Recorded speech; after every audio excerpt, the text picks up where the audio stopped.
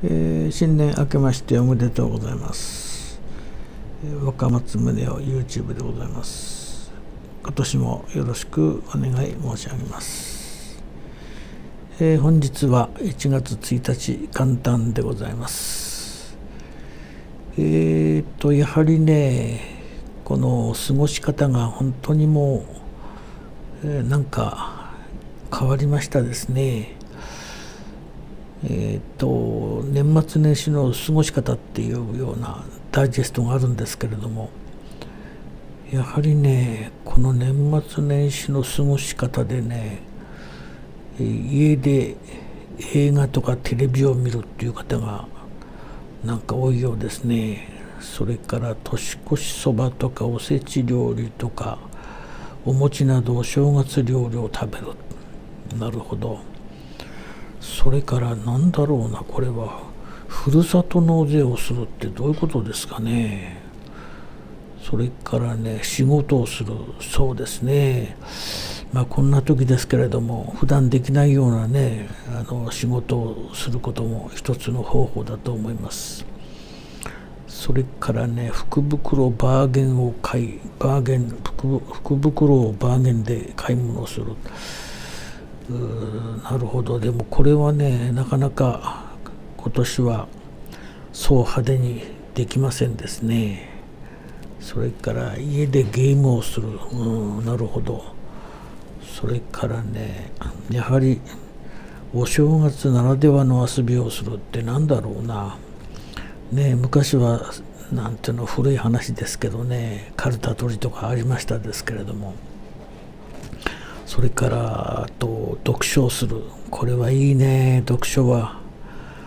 本当にね本を読むっていうことは心のね心の何て言うのかな。なんかこう精神状態をまあ耕すっていうのか。非常にこうなんかものの見方感じ方をね奥深くしますよね。読書っていうのは。それからね地元に帰る。まあこれもね帰らざるを得ない人もいるでしょうけども。まあほとんど帰ることができないでしょうね。この状態だと。それから国内旅行。これもね GoTo トラベルもストップになっちゃってますのでね。まあこんなことで。まあ明日はね私はえっ、とね今箱根に来てるんですけれども。えーと、明日は箱根駅伝で明日明後日とありますが、まあ、普段はねこう今日はもう前日ですのでもう本当にねこうテレビの中継の方たちが忙しくねこの箱根の、ね、山を行ったり来たりしたりあのしてるんですけれどもまあ準備はしてますけどね本当にもう何て言うんですかねもう必要最低限っていうような形ですよね。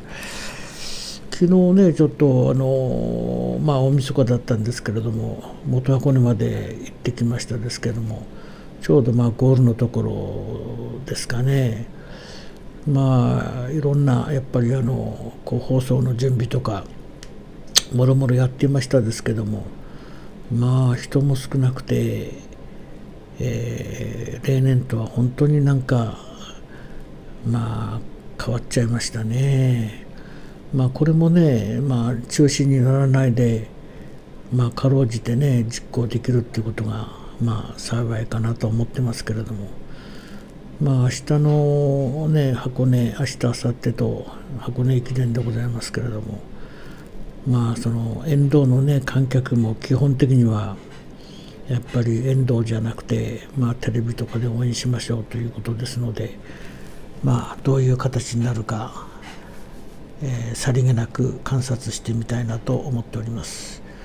まあとにかく、えー、まあ、こんな時代ですので、まああのまあ、自分自身をもうもうこう、まあ、反省するっていうのか、まあ、見つめるっていうのかなかなかねこう日々のあの仕事に追われちゃって、えー、反省することもないんですけれども、まあ、今年はよく、えー、自分自身を見つめ直して前進していきたいと思います。ありがとうございます。